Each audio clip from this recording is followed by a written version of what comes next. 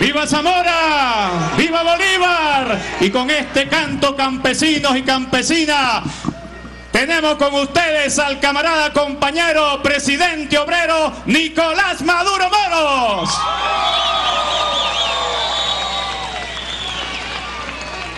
No hay mejor forma de darle la bienvenida a los campesinos y campesinas, pescadores de la patria, al pueblo indígena, a su casa presidencial, que el himno de la federación, el himno que nos recuerda a Ezequiel Zamora. Que viva el pueblo de Ezequiel Zamora. Que viva el pueblo campesino de Venezuela. Que viva el pueblo indígena de Venezuela. Bueno, hemos disfrutado de la llegada de ustedes a Caracas desde temprano, saliendo por radio, televisión, tremenda conciencia.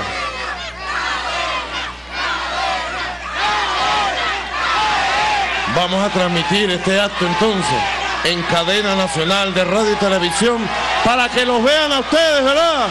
Por allá, el pueblo. Este es un mensaje del gobierno de la República Bolivariana de Venezuela en cadena nacional de radio y televisión a través del satélite Simón Bolívar.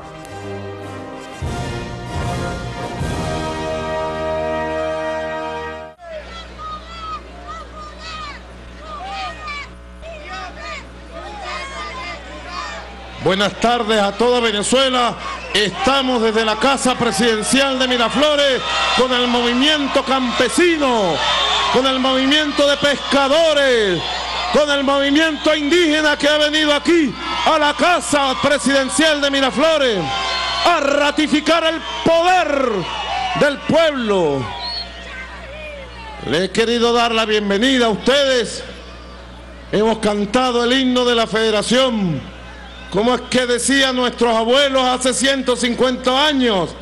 Oligarcas temblar, viva la libertad. Hoy cantamos igual que hace 150 años. Oligarcas temblad, viva la libertad. Que viva la libertad del campesino del indígena. Que viva la libertad de los pescadores. Que viva la libertad de la juventud venezolana. Bueno, apenas hace unas horas estuvieron aquí.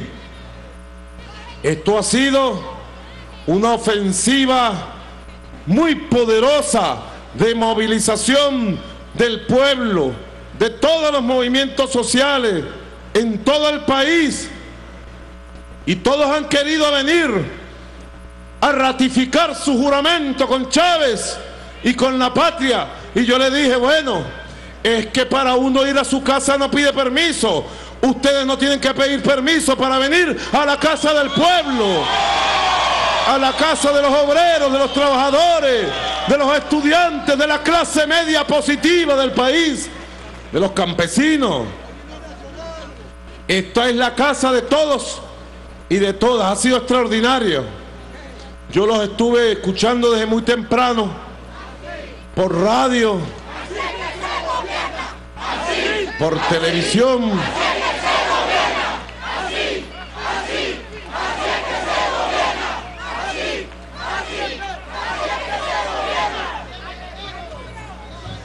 Escuchando los conceptos de ustedes.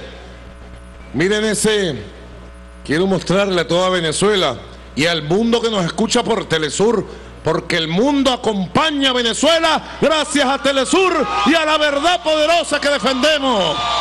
Podrá más la verdad que la manipulación, porque ahora le dio a los artistas famosos por declarar contra Venezuela y meterse contra el pueblo venezolano, como si ellos pudieran determinar el destino soberano de este pueblo que decidió hacer una revolución en el siglo XXI. Vienen a opinar libremente. alegremente, diría yo, siguiendo un guion. Ellos creen porque son famosos y sus canciones nos gustan, pueden determinar nuestra mente qué debemos hacer con el país. Se equivocaron con Venezuela. A Venezuela se respeta. A los campesinos se respetan. A los obreros, a los motorizados a los profesionales, a la clase media productiva se respeta. Ya basta de tanto irrespeto para que vengan alegremente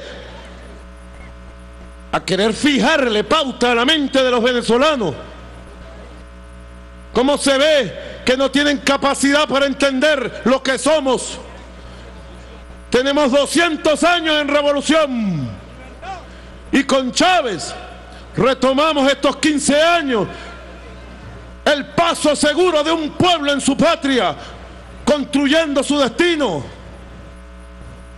Y pretenden las oligarquías del mundo torzarle el brazo al pueblo venezolano. Que sepan que nuestro brazo es un brazo de acero y no lo tuerce nadie en este mundo. Estamos orgullosos de ser lo que somos.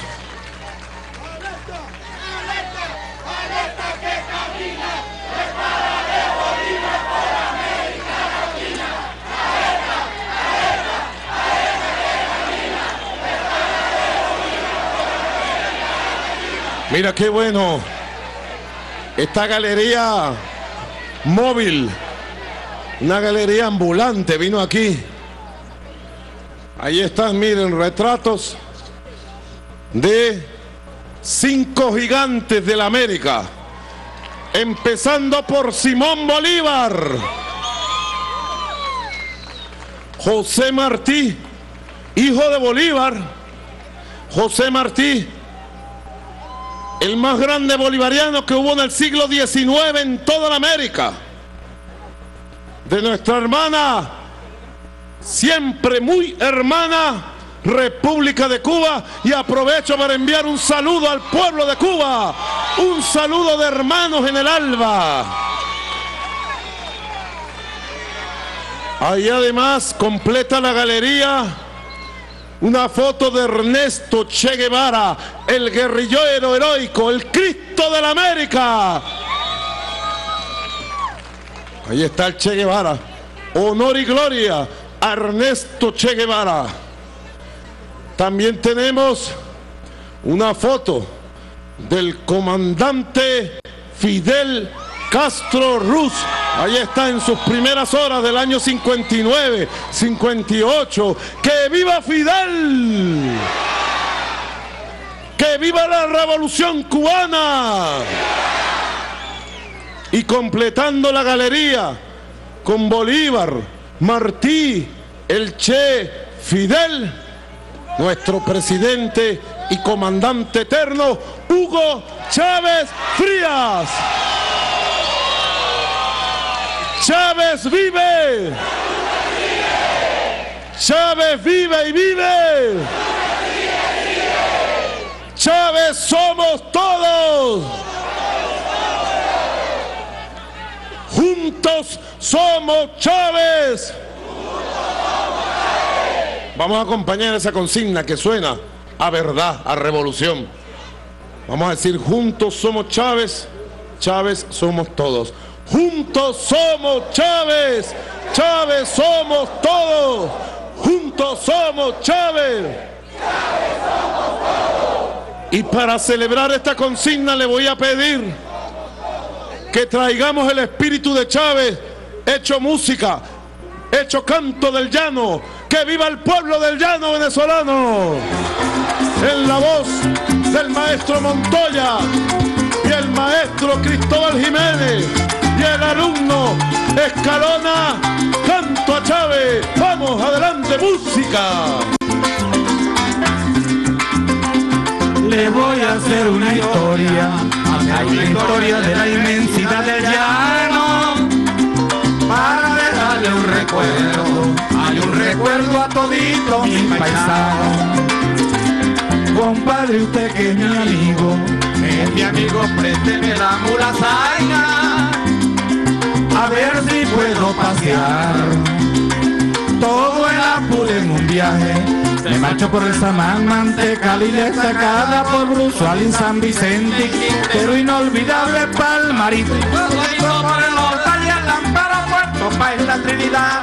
Saludo al Campanario, el Yaguar y Guasimal, son vecinos de Guayana. Marcho por el Samán, Mantecal y destacada por Brusual y San Vicente, pero inolvidable Palmarito y Guadualito por el Orza y el Amparo, Puerto País, la Trinidad. Saludo al Campanario, el Yaguar y Guasimal, son vecinos de Guayana. ¡Que viva Chávez! ¡Que viva Chávez y Maduro! ¡Que viva! ¡Chávez vive! Y que viva el llano, Cristóbal. Más violencia fascista. Venezuela, territorio de paz. Sembrando la paz y cosechando la vida. Somos un pueblo de paz. No siembren bombas, siembren matas y plantas y árboles. Campesinos sembrando la paz. Maduro sembrando la paz. Maduro trae la paz a Venezuela.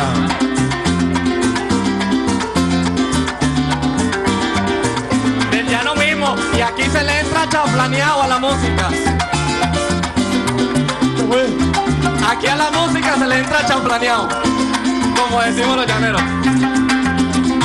Con destino a Cunaviche, pueblo querido, voy a continuar paseando, contemplando las bellezas, hay las bellezas naturales de mi estado, donde se ven por doquier, hay por doquier cantidades de ganado, donde se gira el coplero, por camino cabalgando. Dejas unas pocas horas para continuar viajando por San Rafael de Atamaica rumbo a San Juan de Payaro. Me paso por Arichuna y regreso por San Fernando. Debo de entrar a Viruaca antes de llegar a Chaguapurito, que es mi pueblo en la mula voy llegando. Dejas unas pocas horas para continuar viajando por San Rafael Atamaica rumbo a San Juan de Payara. Me paso por Arichuna, regreso por San Fernando. Debo de entrar a Vihuaca antes de llegar a Chaguapurito, que es mi pueblo en la mula voy llegando. Y el que escucha esto, Cristóbal, recuerda a nuestro comandante eterno Hugo Chávez. A la memoria del máximo líder de la revolución bolivariana, Hugo Chávez Frías, el pasaje motivo llanero. Con Chávez y Maduro, El pueblo se asegura. este machique de Estado Zulia.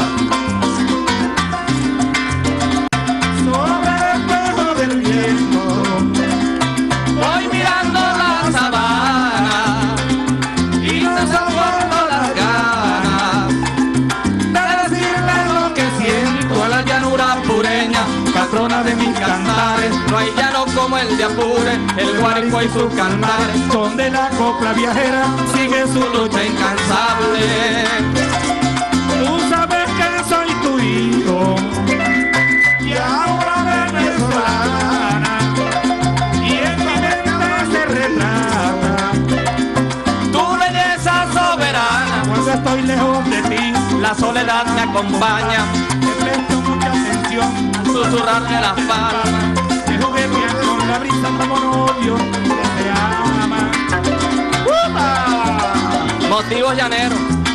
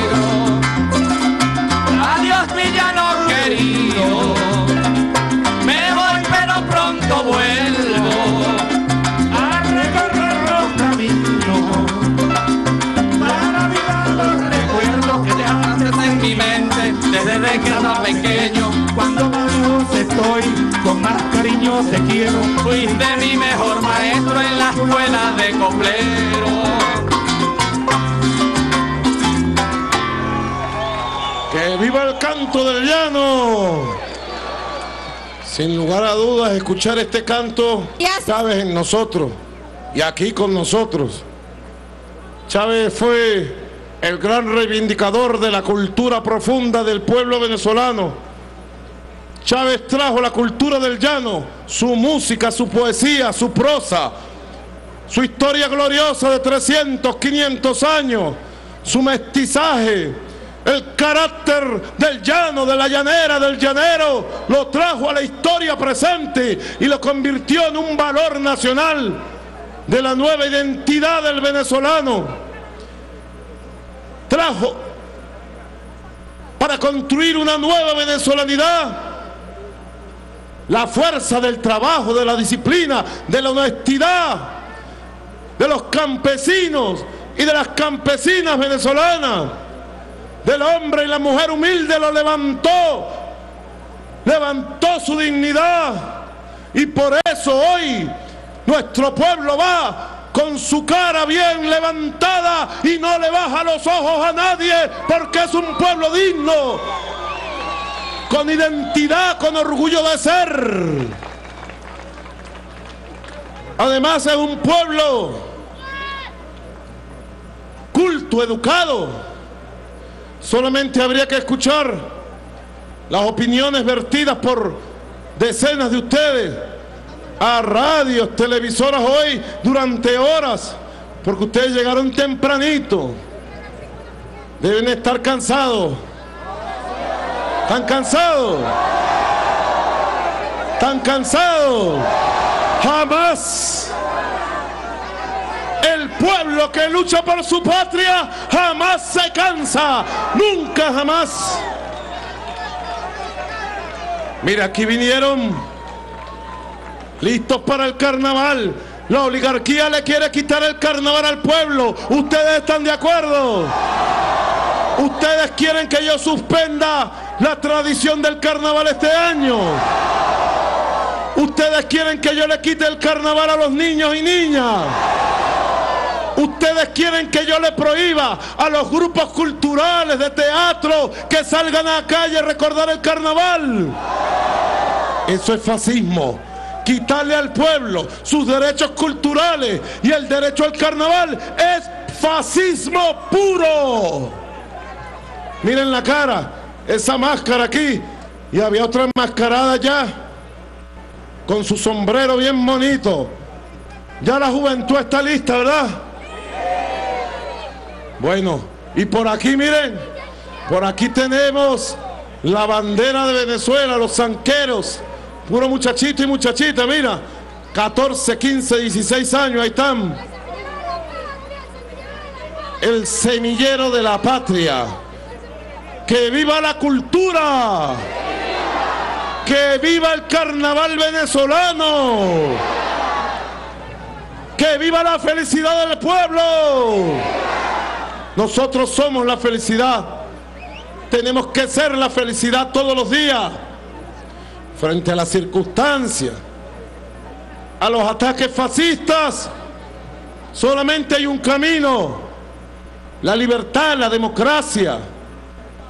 Fíjense que yo estaba diciendo, aquí también tenemos algunos voceros representantes de las misiones y grandes misiones en todo el campo venezolano. Un saludo a la misión Sucre, a la misión Robinson, a la misión Rivas, a la misión social cubana aquí, los médicos, médicas, deportistas, con su bandera hermosa, libre y soberana de Cuba socialista. Bueno, fíjense ustedes, solamente un dato. Comandante Chávez lanzó, recuerdan ustedes, la misión Robinson, 2003-2004. ¿Y qué dijeron? La derecha, se burlaron. Eso es imposible. ¿Cómo van a acabar con el analfabetismo? Eso nunca ha, sucedido en Venezuela. Siempre subestimando a la revolución, a Chávez y al pueblo. Y nosotros ya, en tiempo récord, la misión Robinson logró que la Organización de Naciones Unidas para la Educación y la Cultura, UNESCO, declarara a Venezuela en el año 2005, Venezuela territorio libre de analfabetismo de punta a punta nuestra patria. Pero no nos quedamos ahí. El trabajo continuó. Yo le puedo informar a nuestra Venezuela y a nuestros hermanos del mundo que si es verdad nosotros alfabetizamos dos millones cuatrocientos mil venezolanos, hubo casos extraordinarios de viejitos de 90 años que habían pasado toda su vida sin saber leer ni escribir.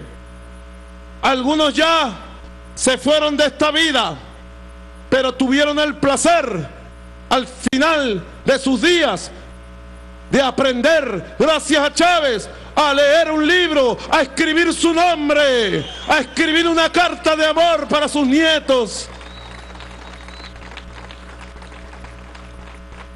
102 años, recuerdo, cuando el comandante Chávez le dio su título de haber aprendido a escribir.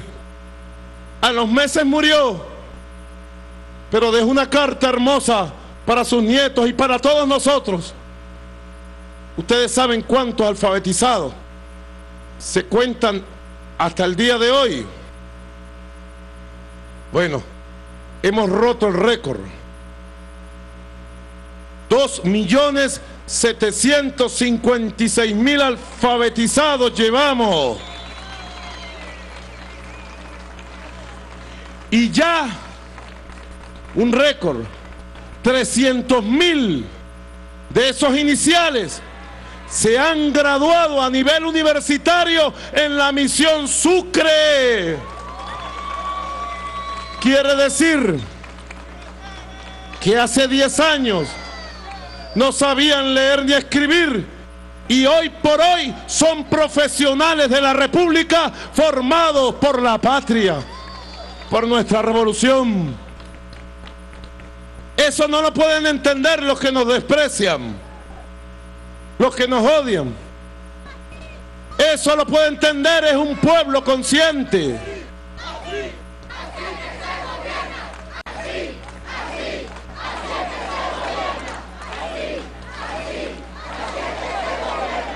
Y todo lo que hacemos, todo lo que yo hago todos los días, es trabajar por honrar la memoria de nuestro comandante y por continuar con su legado intacto. ¿Ustedes creen que si aquí en Miraflores hubiera un presidente o una presidenta de la derecha, se hubieran mantenido las misiones y grandes misiones? ¿Ustedes creen que el pueblo estaría aquí en sus pasillos libremente? Es muy sencilla la respuesta. Hemos continuado el legado del comandante Chávez y lo vamos a continuar. Yo quiero decirle, compañeros, del movimiento indígena de nuestra patria, que le he dado órdenes a nuestra ministra, joven ministra de pueblos indígenas, para que continúe la gran misión Vivienda Venezuela en todos los territorios indígenas.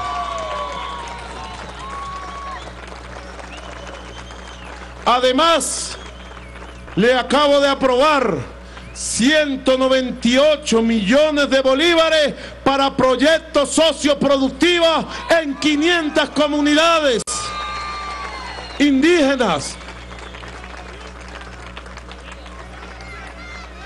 Le aprobé el plan de la sierra que me mandaron los pueblos Chupa. Ya está aprobado. Ella lo explicará en las próximas horas.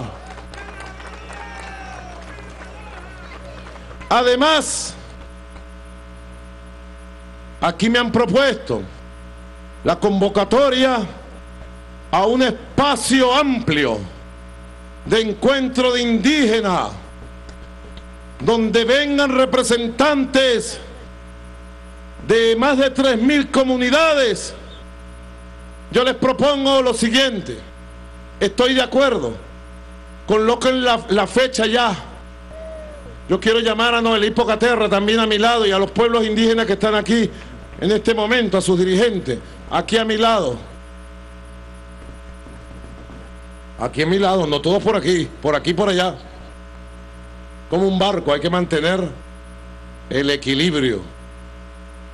Noelí, ponte aquí a mi lado. Aquí están. Ellos son nuestra raíz. Nosotros fuimos ellos hace 600 años. Nuestros pueblos vivieron en paz aquí con Guaycaipuro. Jefe de jefes, cacique de caciques.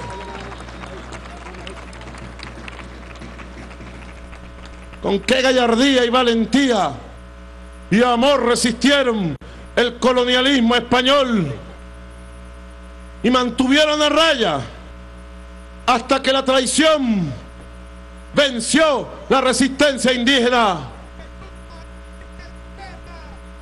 Un abrazo a todos los hermanos que están aquí. Un abrazo.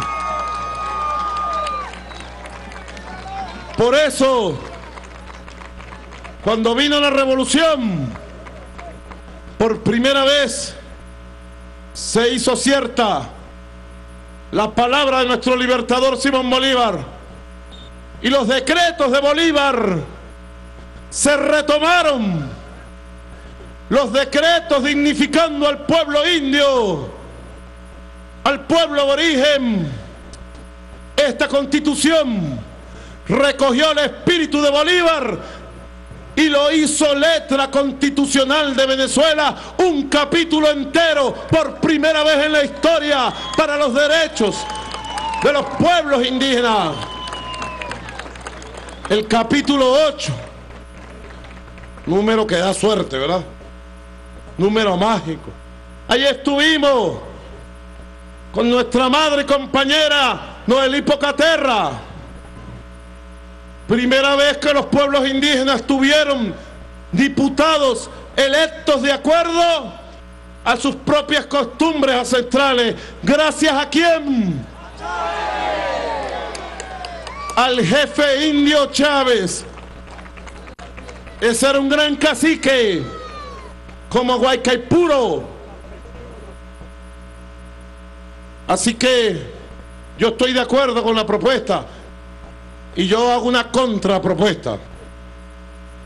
Vamos a convocar, compañera ministra, Aloa, compañeros líderes, compañera Noelí, oído, vamos a convocar, pónganle fecha pronto 24 de marzo, día de abolición de la esclavitud, estoy de acuerdo. Vamos a instalar muy bien preparada previamente la Conferencia Nacional de Paz de los Pueblos Indígenas de la Patria. El capítulo de la Conferencia Nacional de Paz con los pueblos indígenas. Yo recojo todas las palabras de la compañera Karim. Yo les voy a decir cuando ella hablaba en la lengua guayú, yo sentía por aquí adentro 500 años de historia pasando como una película. Porque la lengua que ella nos habló fue la lengua original aquí. Nosotros somos fruto de la colonia, fruto rebelde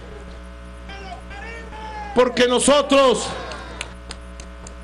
gracias a las luchas de nuestros ancestros, se logró hilvanar una ideología rebelde, popular, que unió la lucha del pueblo indígena a la del pueblo afro-venezolano, traído como esclavo de África. José Leonardo Chirino, negro primero, son los dos jefes negros que van en la vanguardia por nosotros. En Venezuela logró hilvanarse una ideología revolucionaria que logró unir pueblos indígenas, resistencia africana, con la lucha por la libertad de nuestros libertadores. Y fue Bolívar, Bolívar, compatriota, que logró hilvanar todas las luchas por la igualdad y la justicia en el proyecto revolucionario de hace 200 años. Que luego retomara Zamora en 1848-59 y que luego retomara Cipriano Castro,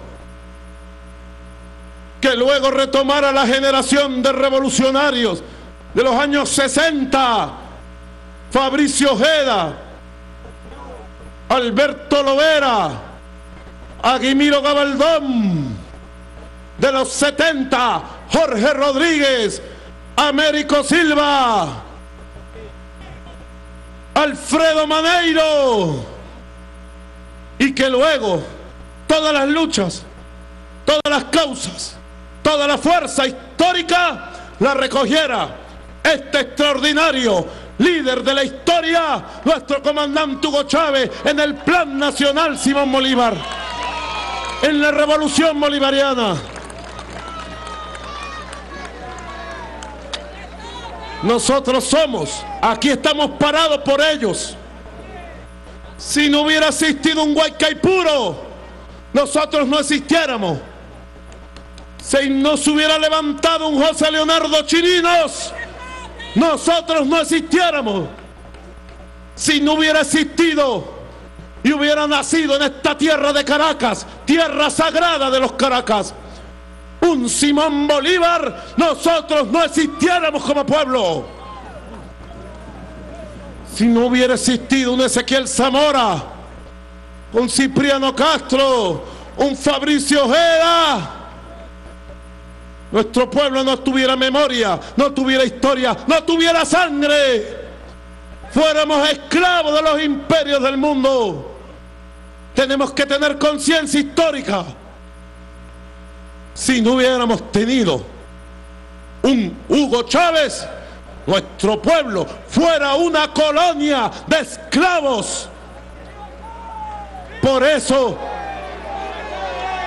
debemos todos los días de nuestra vida agradecer a Dios nuestro Señor habernos enviado un Hugo Chávez para recoger toda la historia de la patria y hacerla presente, hacerla futuro, hacerla pueblo.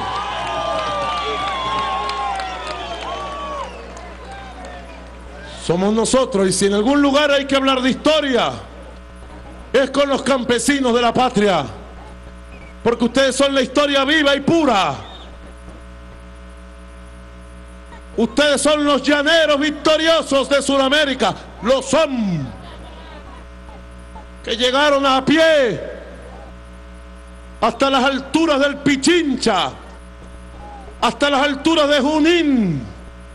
Ustedes llegaron a pie hasta las alturas de Ayacucho y a pie echaron y derrotaron el ejército del imperio español de nuestra América.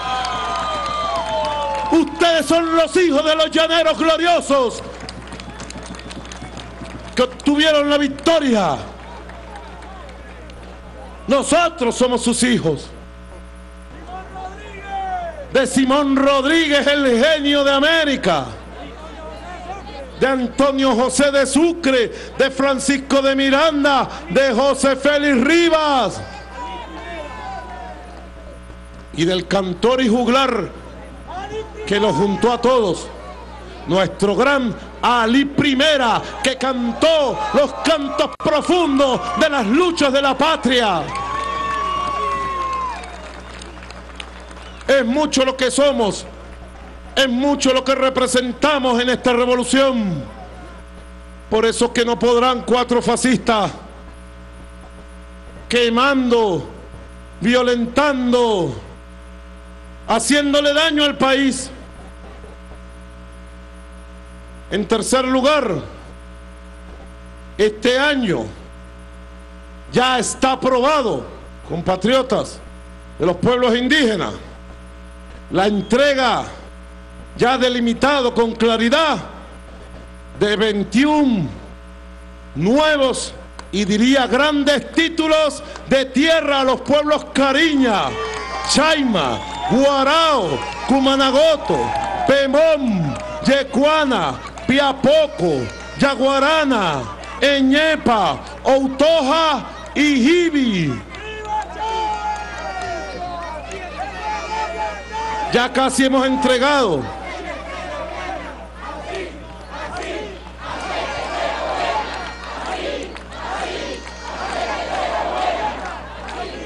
Ya hemos entregado más de 3 millones de hectáreas. Y así tiene que ser. Compatriotas indígenas que también son campesinos porque están en la tierra, viven con la Pachamama en armonía. Tenemos que convertir los territorios indígenas en potencia económica de la patria.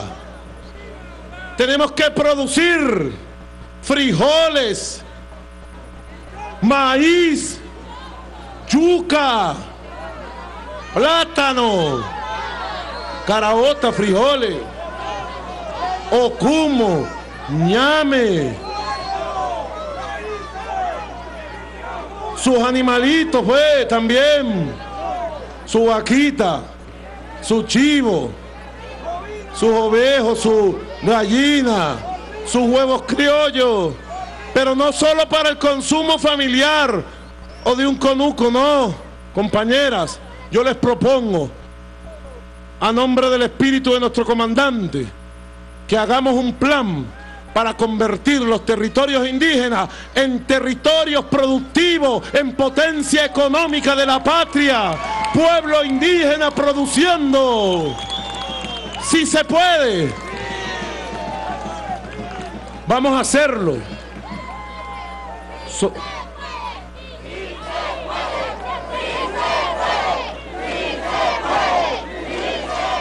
Sobre todo porque ustedes conocen por su cosmovisión conocen los secretos de la Pachamama aman la naturaleza para ustedes la naturaleza y para nosotros. Yo también soy yo soy Nicolás Maduro indio duro. Me llaman el cacique duro nosotros conocemos. Pueblo indígena conoce los secretos de la naturaleza. La naturaleza la consideran su familia porque la naturaleza la consideran ente vivo y no le hacen daño.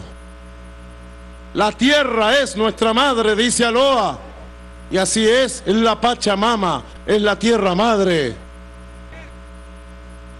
Imagínense ustedes lo que puede surgir de proyectos de desarrollo agrícola con esa nueva cosmovisión agroecológica de respeto, sin veneno. Lo que puede surgir ahí es lo que siempre creyó el comandante Chávez y yo lo creo profundamente. Un nuevo concepto de agricultura verdaderamente humana, que reivindique la profundidad humana de los pueblos indígenas y los coloque en el presente y los proyecte hacia allá, hacia el siglo XXI en adelante. Son retos. Así es, tremenda voz tiene esta mujer. Como una o nada, dice. Juventud, juventud. Y mira, cualquier cosa que uno dice ya la convierte en consigna. Fuerza, alegría, razón de ser de nuestra revolución. Fíjense ustedes, mientras nosotros estamos aquí aprobando recursos para la agricultura, aprobando la entrega de 21 títulos para pueblos indígenas, de acuerdo a la constitución, Ayer tuvimos aquí a los trabajadores de la CanTV. Le repusimos sus camionetas que le quemó el fascismo. Tuvimos a la juventud. Inauguramos un estudio moderno de grabación para video, canciones, para juventud. Vamos a inaugurar 400 este año. Ahí está la juventud, mira ya. Lista para el carnaval. Luchando y rumbeando. Esa es la consigna. Luchar, rumbear y vencer. Que no nos quiten la alegría jamás. Pero fíjense ustedes, mientras anoche estábamos con los trabajadores, antes de ayer tuvimos un encuentro aquí increíble. Se vinieron en marcha, así como trajeron ustedes. Hoy, miren, decenas de caballos, de tractores. Hace dos días a esta hora yo tenía aquí a miles de motorizados y motorizadas vinieron con su moto, con sus cascos. Un saludo a los motorizados del país y a las motorizadas. Pero mientras nosotros estamos trabajando, estamos trabajando y trabajando, todos estos hechos de violencia siguen produciendo víctimas del fascismo. CNN en el mundo y las agencias internacionales dicen que este es un gobierno represivo, que este es un gobierno, pero no dicen que quien viola los derechos humanos son pequeños grupos que queman, que atacan. No dicen nada de eso. Quien está violando los derechos humanos en Venezuela son pequeños grupos fascistas que están produciendo enfermedades. Ya van más de 50 muertos producto de las barricadas y de la guarimba. Ayer murió una señora de 84 años aquí en una urbanización del este de Caracas porque la mantuvieron secuestrada por una guarimba durante tres horas y murió en el carro de su familia.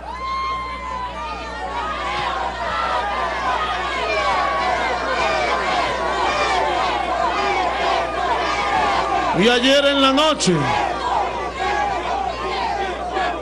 en Valencia. Atención, también ayer, ellos lo callan, lo callan los medios como CNN, lo callan porque quien está violando los derechos de los seres humanos en Venezuela son los ataques fascistas directos. Ayer en Valencia otro joven llamado, un motorizado que venía de trabajar, Eduardo Ramón Anzola Carmona, de 29 años, murió al estrellarse, producto del aceite quemado, se estrelló contra unas barricadas incendiadas y perdió la vida en Valencia este joven en la Michelena y me acaba de avisar el gobernador Amelias que hay otro joven que acaba de caer y está muy grave, producto de las guarimbas.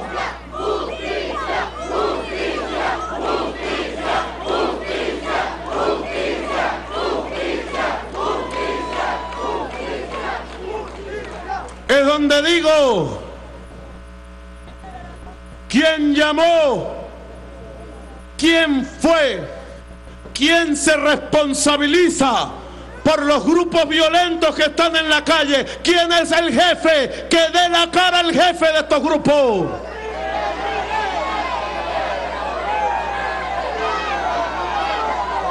Ya la justicia puso preso a uno de los jefes que llamó a este golpe de Estado. Está una celda, en una cárcel.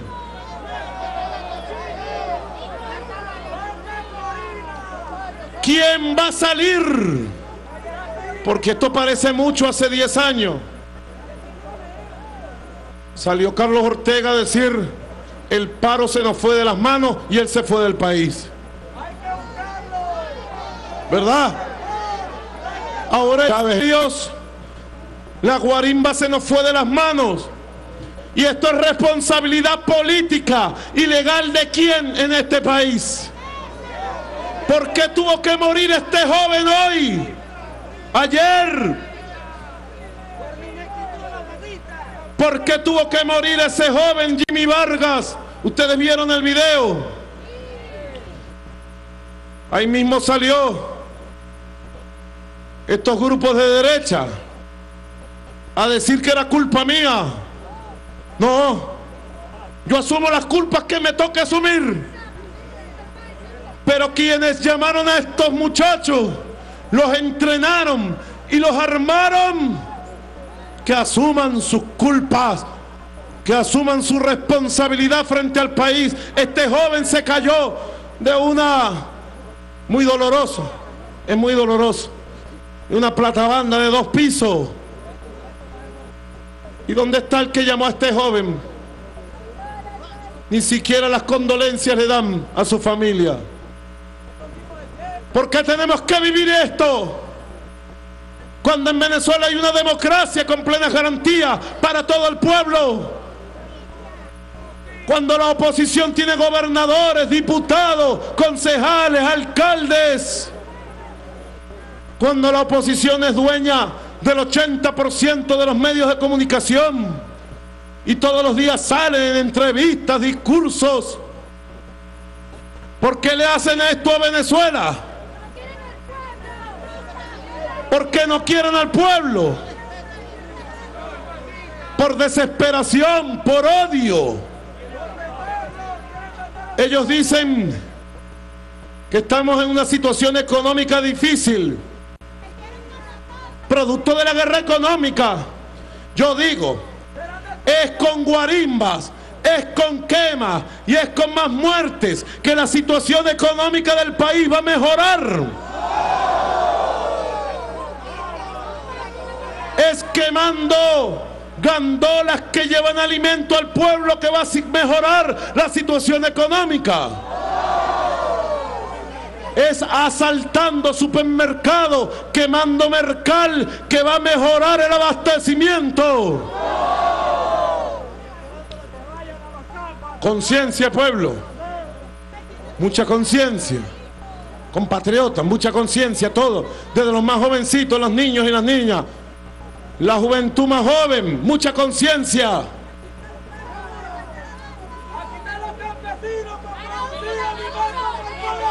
Pero mientras tanto, nosotros tenemos que ser, nosotros tenemos que hacer como decían los motorizados. Ellos se definen como los caballos de hierro. Los caballos de hierro por la paz se definen los motorizados.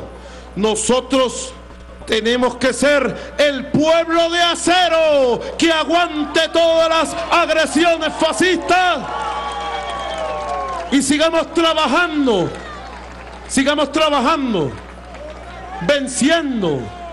Yo por eso al movimiento campesino le digo, aquí me propuso el compañero Iván Gil, ministro de Agricultura, compañero me propuso un conjunto de decisiones para seguir estimulando la producción. Tenemos que producir, compañeros. Tenemos que trabajar. Si estoy produciendo una hectárea, prepare otra hectárea para que produzca dos. Si estoy produciendo 10 hectáreas, prepare 10 más. Aquí están los recursos para los insumos.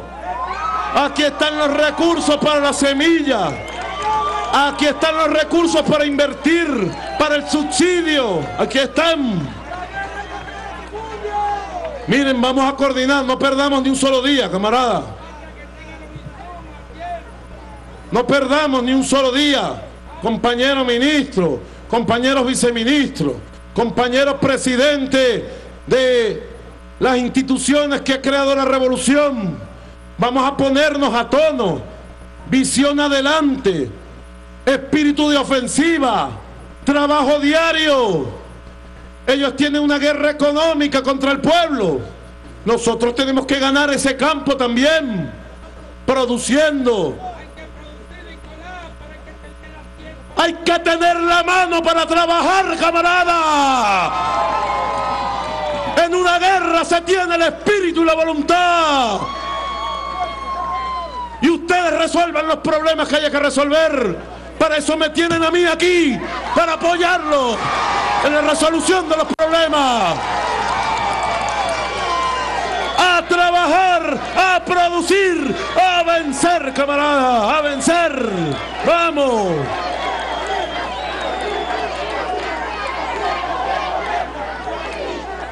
A elevar el espíritu, la organización, la coordinación.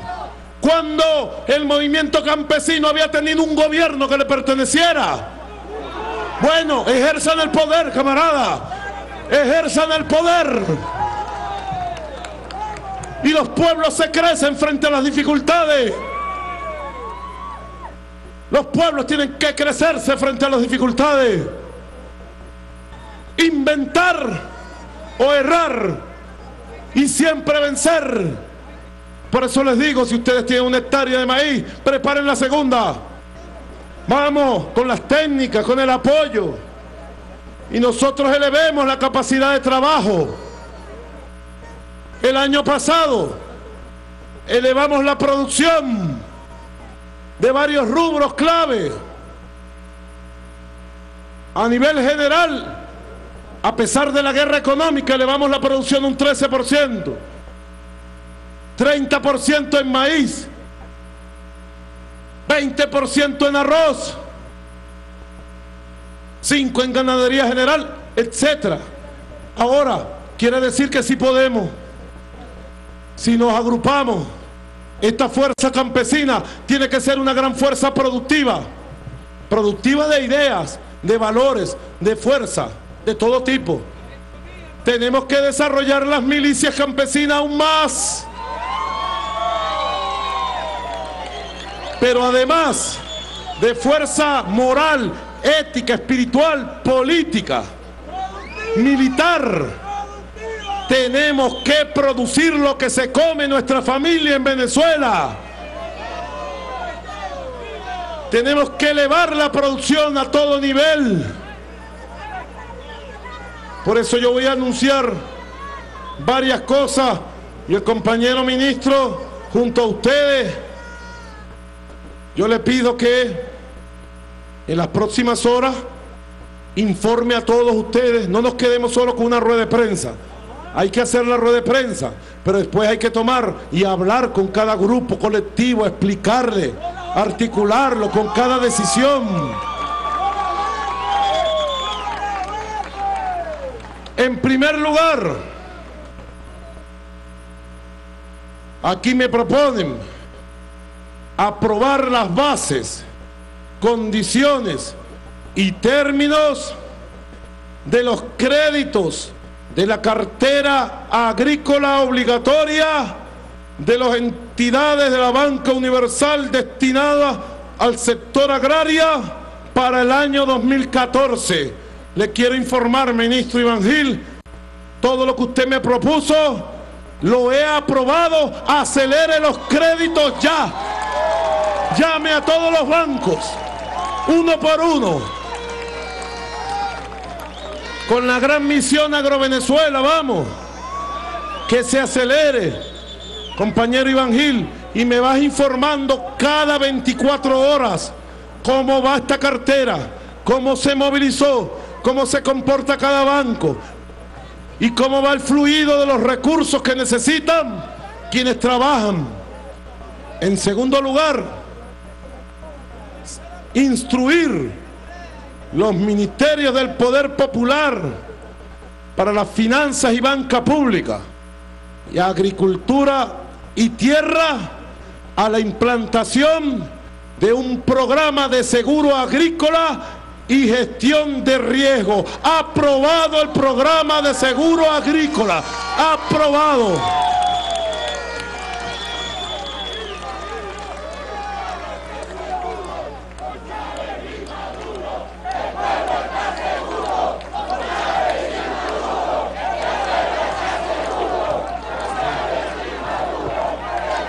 En tercer lugar,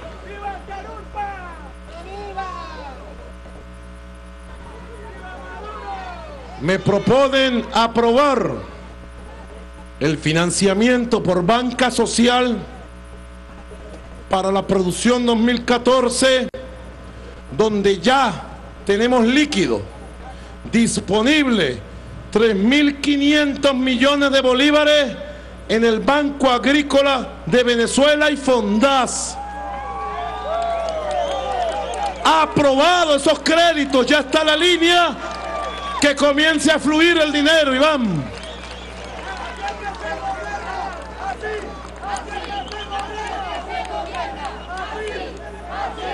De acuerdo. Por eso, mira, aquí los compatriotas del movimiento de producción agrícola libre de transgénicos. ¿De acuerdo? Por eso le propongo a los pueblos indígenas convertirse en la vanguardia de la agroecología en Venezuela. Pero hagámoslo, pongámonos tercos hasta que lo logremos, cada hora, cada día, pongámonos fastidiosos hasta que logremos los objetivos. Y me proponen, compañero Iván Gil, me propone, además de estos 3.500 millones, que él tiene necesidad, pero que esto fluya, camaradas, al máximo, lo mejor. Ahí tenemos la banca, cada quien tiene su tarjeta. Hoy es más fácil, uno con una tarjetica controla el flujo de su dinero en la cuenta para la inversión, ¿verdad? Me propone que necesita 4.428 millones de bolívares extras para nuevos financiamientos a través del Fondas y el Banco Agrícola. Le he aprobado estos recursos ya, pero que ese dinero corra para producir. Y combinar el seguro agrícola con el crédito.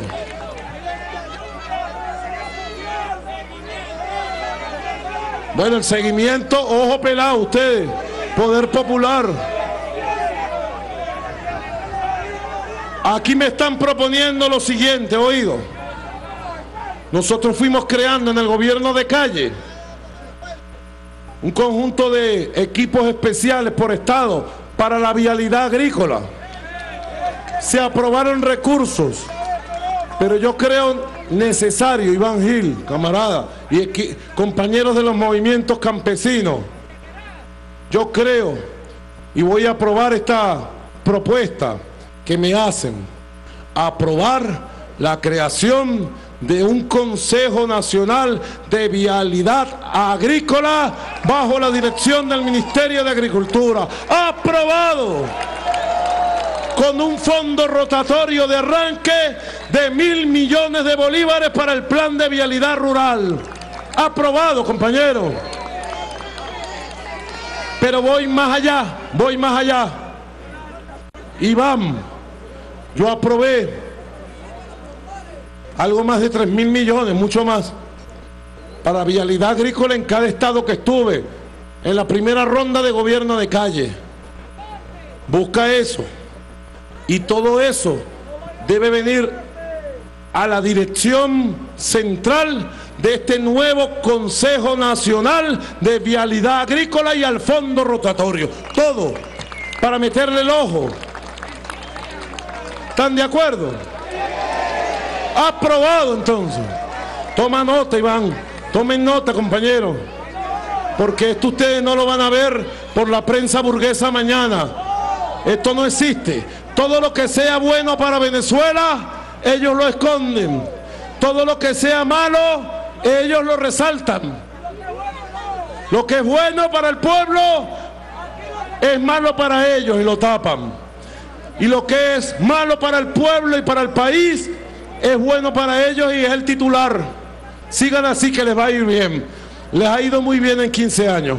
Como dice en Maracaibo, seguí así, mi hijo, que te va muy bien.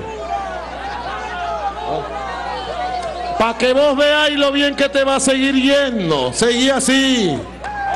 Y nosotros sigamos así, luchando, trabajando con alegría, produciendo, con el pueblo movilizado.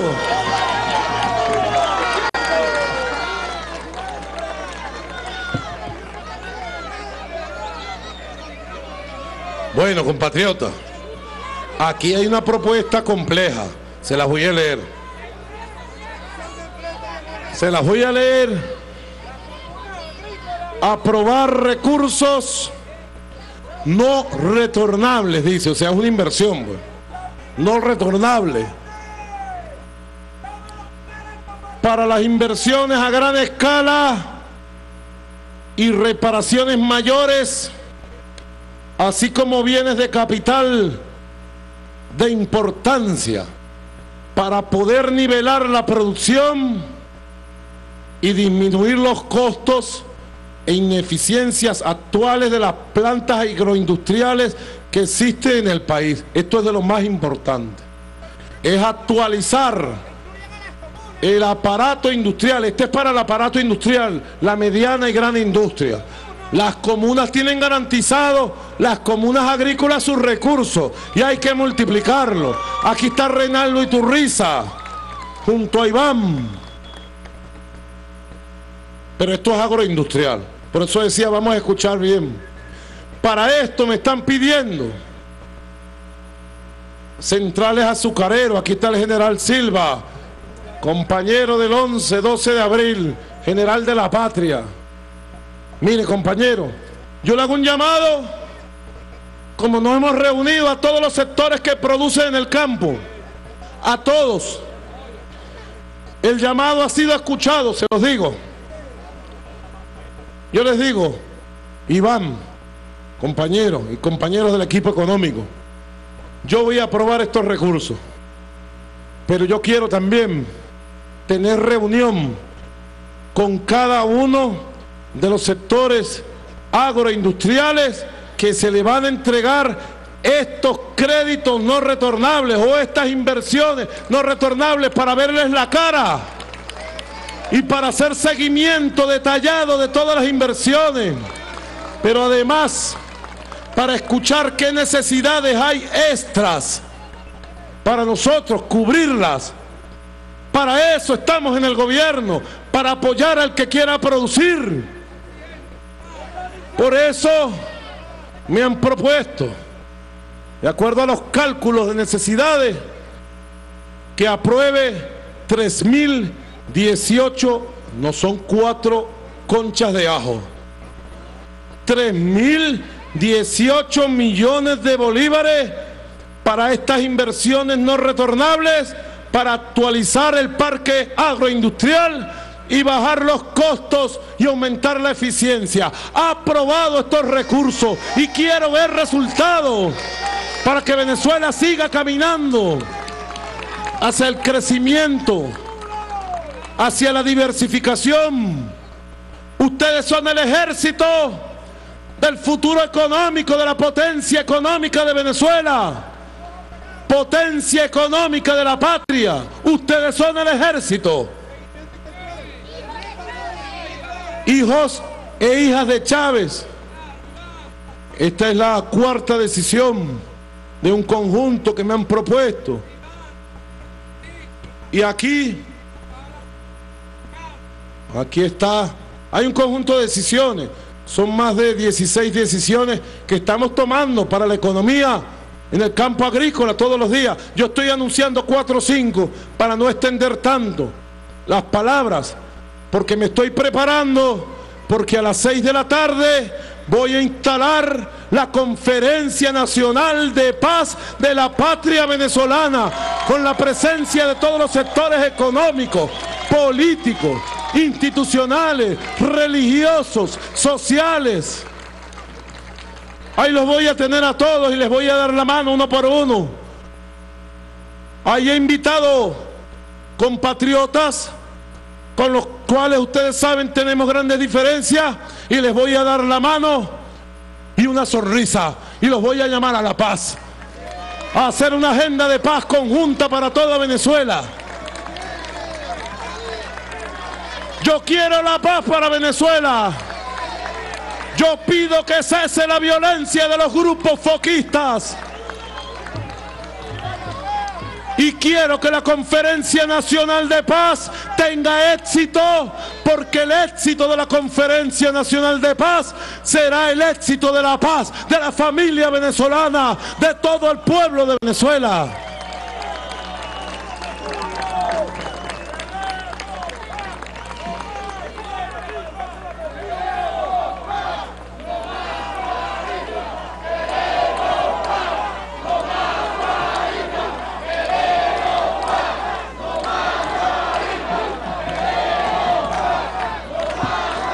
Es el clamor de todo un pueblo. Queremos paz, queremos prosperidad, queremos trabajar, queremos estudiar y formarnos. Queremos disfrutar con nuestros hijos los días de carnaval. Como que nos van a prohibir el carnaval. O sea que nos tenemos que meter en la casa amargados.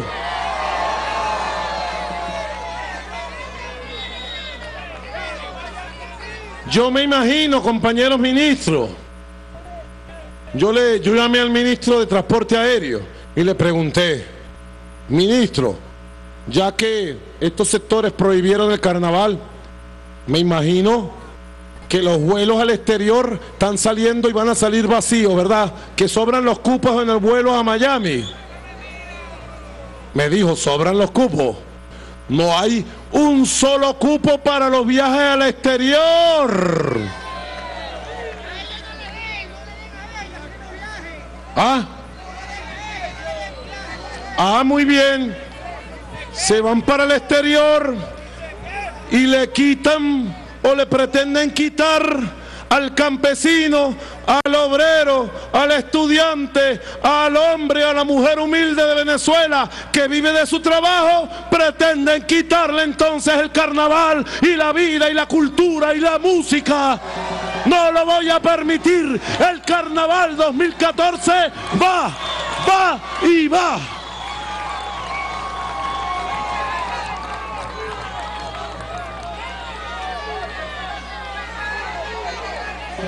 Me imagino, me imagino que por la vía que van, también dentro de 40 días, un poquito más, ellos eliminarán la Semana Santa. Me imagino que todos ellos declararán, la Semana Santa no va, prohibida la Semana Santa, me imagino, ¿verdad? Y después que querrán prohibir el 19 de abril, que no lo celebremos, conmemoremos. Después querrán prohibir el 24 de junio.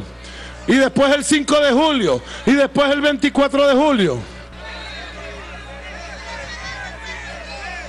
Y después querrán prohibir las vacaciones escolares de los muchachos. Mire, además, yo quiero decir algo. Además, ustedes saben que un país se organiza de acuerdo a sus tradiciones, ¿verdad? Y la economía, que tenemos que hacer grandes esfuerzos para que mejore, para superar los estragos de la guerra económica y para solidificar la economía junto a los planes sociales, para seguir elevando la calidad de vida de todos. La economía se adapta a las tradiciones.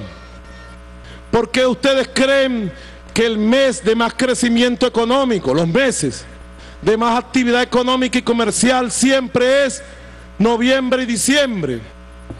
Porque la economía y la sociedad se adaptó a la celebración de las navidades y fin de año. Y por eso se crearon el aguinaldo, las utilidades, los ingresos extras de los trabajadores y la economía se estimula, se mueve. Si uno eliminara las navidades y la celebración de fin de año, afecta gravemente la economía en nuestro país y en muchos países del mundo. Porque el año termina cabalgando y aumentando la velocidad de la cabalgata en los dos últimos meses, producto de las tradiciones religiosas, culturales, de la sociedad. Lo mismo pasa con el carnaval. Toda la sociedad se prepara, grupos culturales, comparsas históricas que tienen 100 años. Los 50 años del carnaval de Carúpano, los tamboreros. Esto se entiende, ¿verdad? Bueno, y todo eso va moviendo la sociedad, la juventud, la gente se llena de expectativa positiva y las tensiones de la sociedad, bueno, logran canalizarse con la alegría de la cultura, del canto también, de manera sana. Y la sociedad toma nueva energía al terminar sus festividades para ir a trabajar, a estudiar con nuevas ideas. Así funciona la sociedad, como funciona el cuerpo humano. El cuerpo humano necesita dormir, ¿verdad? Uno se acuesta. Yo me acuesto a las 3 de la mañana todos los días. Duermo 5 horas, 6, bien profundo. Pongo la cabeza aquí, directo a dormir. Y luego abro los ojos, estoy listo. Pepito, pues fresquecito, como una lechuga. Y me levanto a trabajar. Pero también yo necesito compartir con mi familia, reírme con los nietos. Necesito que venga un grupo de amistades y agarramos un cuatro un día y empezamos a cantar, a echar chistes, a contar cosas. Necesito uno que otro día, cosa que no hago, pero hace falta hacerlo. Ir a la playa, agarrar sol, meterme y nadar un rato, ¿verdad? ¿O es que ustedes no hacen eso? Si lo hacen, o irme para un río, un sancochito y tomarnos una fría malta o una fría chicha y cantar sanamente, ¿verdad?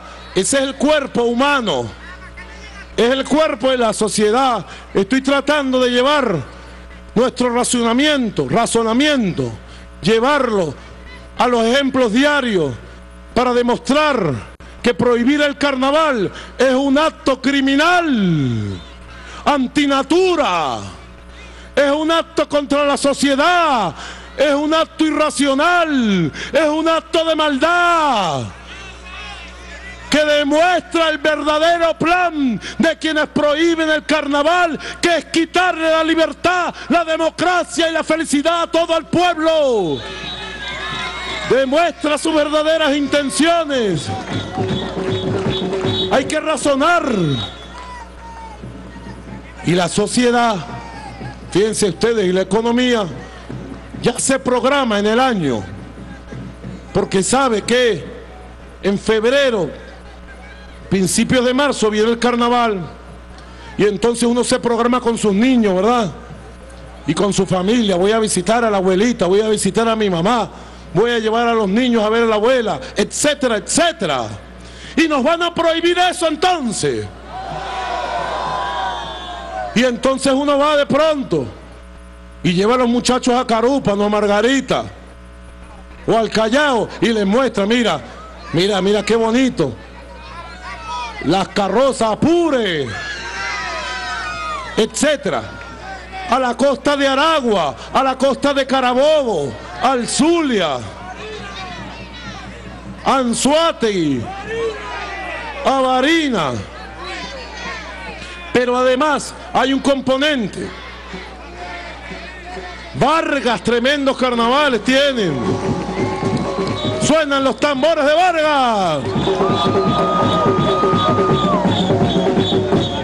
Plum.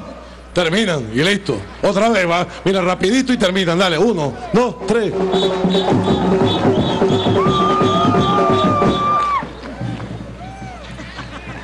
Uno empieza y cuando ya va por la mitad, ¡blum! Lo trancan a uno. Dale otra vez. Uno, dos, tres. Vale, vale.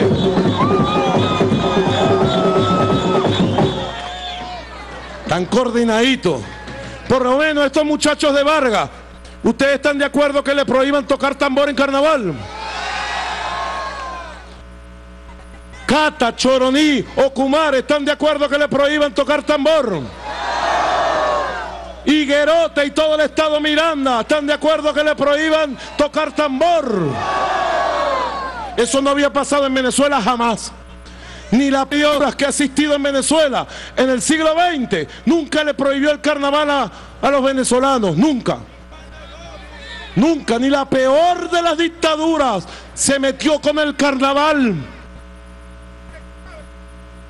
Ahora miren ustedes, también tiene Andrés Izarra, ministro, también tiene un componente económico. Ustedes saben los cientos de hoteles, posadas, centenares de hoteles, posadas, restaurantes, kiosquitos, que venden pescado frito, que venden empanaditas sabrosas de cazón. Mira cómo tiembla este del hambre. Que venden que venden chigüire, morrocoy, no morrocoy no se puede, está, eh, está prohibido. Chipi chipi, que venden sancocho cruzado, arepita dulce, arepa pelada. Se van a desmayar si sigo. Miren, ustedes saben los centenares de restaurantes, restaurancitos, restauranzotos, que hacen su vida económica y que en febrero, ¡pin!, repuntan y suman, suman por la actividad de carnaval 20, 30% del ingreso que vamos a tener en el año para que el turismo mueve mucha economía, el transporte a los transportistas entonces que se coman una yuca frita entonces de acuerdo a la derecha. Ah, los transportistas que están poniendo sus unidades a tono para llevar a la gente para Oriente, de Oriente para el centro, para los Andes, etcétera. Ustedes se dan cuenta toda la dimensión cultural, humana, familiar, económica, societal que tiene la decisión de prohibirle el carnaval al pueblo por parte de algunos actores de la derecha. ¿Se están dando cuenta? No es cualquier cosa. Si ellos vinieran aquí a Miraflores, entonces impondrían una dictadura para quitarnos el carnaval, la Semana Santa, las Navidades y todas las festividades y conmemoraciones. Es una idea loca.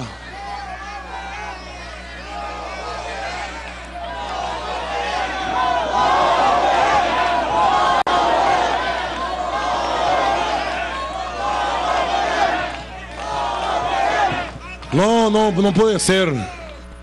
Yo lo voy a plantear hoy entre algunos de los temas que llevo. Llevo temas vitales a la Conferencia Nacional de Paz.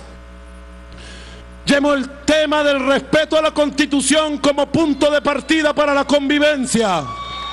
Que todos firmemos un acuerdo de respeto a la Constitución. Llevo el segundo tema. Que todos rechacemos la violencia y nos comprometamos a detener a los violentos en la calle con la palabra, con la acción. Todo el mundo a desmovilizar a los violentos. Segundo punto. Tercer punto que les llevo.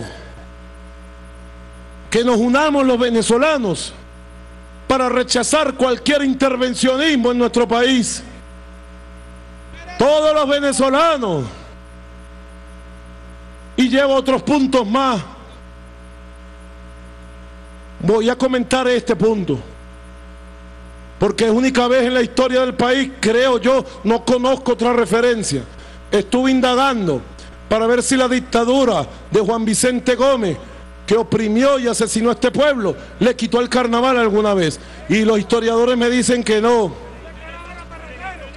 Para ver si el periodo dictatorial de Marcos Pérez Jiménez de 1948 al 58 le prohibió el carnaval alguna vez al país para ver si los 40 años de democracia limitada y represiva del puntofijismo alguna vez le quitaron el carnaval al pueblo. Solo recuerdo una vez. Caracas. Cuando Diego Arri era gobernador, prohibió los carnavales en Caracas y le cayó el pueblo encima y el pueblo salió, hizo sus carnavales a pesar de Diego Arria que era gobernador de Caracas. en el primer gobierno de Carlos Andrés, ustedes no habían nacido. A pesar de que tenga la barba blanca, no habían nacido. Carlitos Carles está ahí. Mire, Carlitos Carles parece un monje budista. Ese es tu hijo. ¿Qué edad tiene? 14 años. Pero tú tienes como 30. Está bien. No, pero es que, oye, Diego Arria fue gobernador 75, 76. Yo estaba chamo, yo tenía 14 años, 13 años. ¿Qué pasó?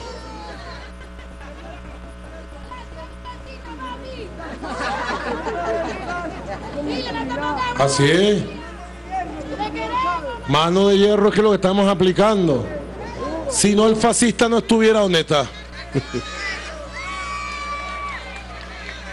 Ahora, compatriota, fíjense ustedes, tenemos mucho por hacer, compatriotas. Aquí se me había quedado la última propuesta de estas 14, 16, 14 propuestas. Tiene que ver, me proponen y me piden un conjunto de recursos, esto es plata lo que están pidiendo aquí. ¿Por qué la patria tiene sus recursos?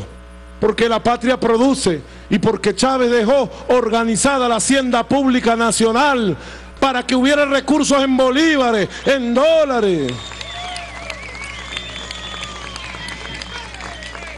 Miren aquí, me están pidiendo los recursos, oído, para acelerar el plan de masificación y municipalización de la agricultura urbana y periurbana. La agroagricultura urbana. Producir en las ciudades. Transferencia. Me están pidiendo 301 millones para el plan de aceleración inmediata de la agricultura urbana y periurbana aprobado, compatriota. Movimientos sociales, vamos a levantar la agricultura urbana.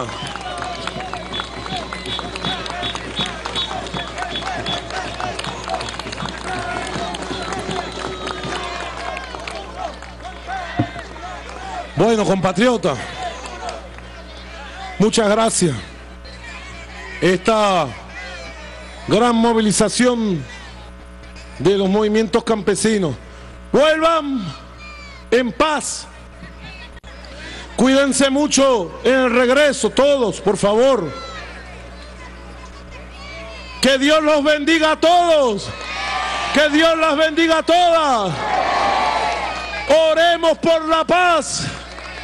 Luchemos por la paz y sigamos consolidando esta patria hermosa de Bolívar y de Chávez como una gran patria de paz, de prosperidad, de vida y de futuro. Que viva el movimiento campesino venezolano. Que vivan los movimientos indígenas. Que vivan las misiones y grandes misiones. Muchas gracias, camaradas. Vamos a trabajar, a vencer y que viva el carnaval del año 2014 del pueblo venezolano. Música, música del llano.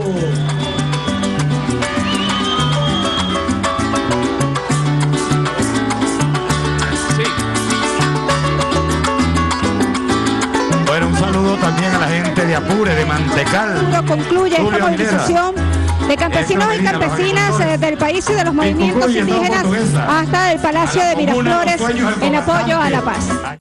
Esta fue una transmisión del Sistema Bolivariano de Comunicación e Información de la República Bolivariana de Venezuela.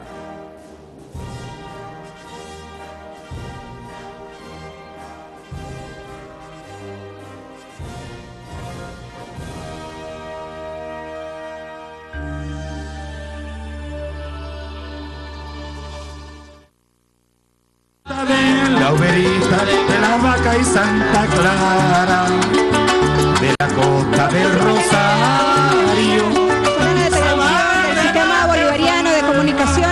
Culmina esta movilización de campesinos y campesinas de los movimientos indígenas y sociales hasta el Palacio de Miraflores en apoyo a la paz, en apoyo a la vida, este plan nacional de convivencia al que ha convocado el presidente Nicolás Maduro. En el día de hoy el jefe del Estado anunciaba importantes medidas, acciones para impulsar la producción en nuestro país. Entre ellos se aprobó las bases y las condiciones para créditos de la cartera agrícola en entidades bancarias y otra serie de actividades, de acciones gubernamentales orientadas a promover la producción en nuestro país. Vamos a escuchar la música llanera, la música de nuestro país, la música de Hugo Chávez en el Palacio de Miraflores. ¡Que viva Chávez! ¡Que vivan los campesinos de Venezuela! ¡Que viva Chávez y Maduro! ¡Maduro, dale duro!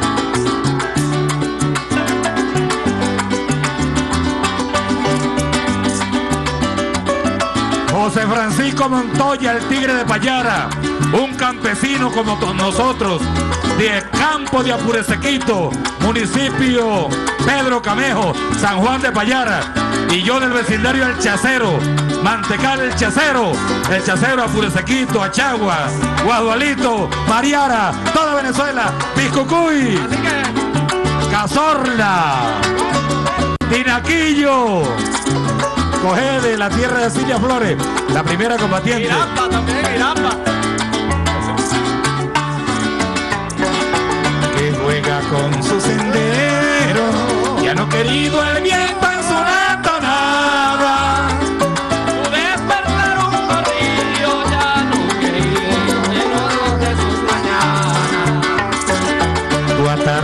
un poema que la noche la declama. Tus caños la poesía ya no querido con mensajes de sabana. Y el arauque serenata que te despierta desde tierra muy lejana su corriente mensajera. Esos senderos se zarpa bien afinada y en esas noches de luna la tocan manos extrañas, se le oye en su rumor un cuatro que la acompaña.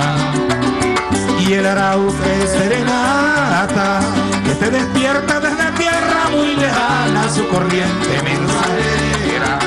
Esos senderos se zarpa bien afinada en esas noches de luna la tocan manos extrañas, se le oye en su rumor un cuatro que la acompaña. ¡Que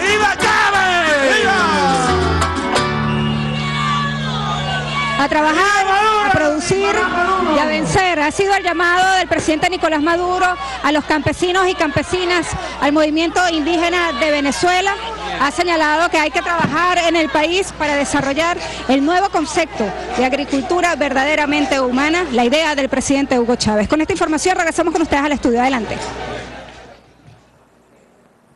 Bien, gracias a nuestra compañera Ana en esta marcha desde el Palacio de Miraflores, concentración por parte del presidente de la República, Nicolás Maduro y el sector campesino, campesinas y por supuesto también eh, movimientos sociales que han sido beneficiarios o beneficiarios por las misiones implementadas por el gobierno bolivariano. También importante mencionar que gran parte de la población indígena estuvo allí presente en esta marcha convocada por el presidente Nicolás Maduro por la paz y la vida.